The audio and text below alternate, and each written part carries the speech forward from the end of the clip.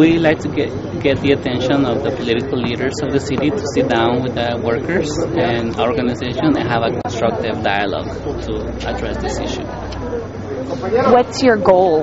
What would you hope to accomplish? Uh, well, ideally, what we would like to see is that they uh, revoke the policy and let the workers come to the center as before.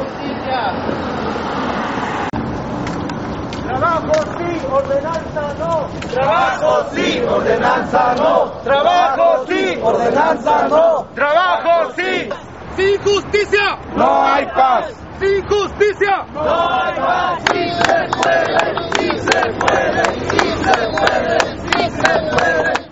I'm working whatever, you know, this landscaping, plumbing, carpenter, uh, roof or roofing, whatever, uh, and the paint. Whatever, this is the job is coming. I can do. it. Some some people just, just pay seven dollars, eight dollars.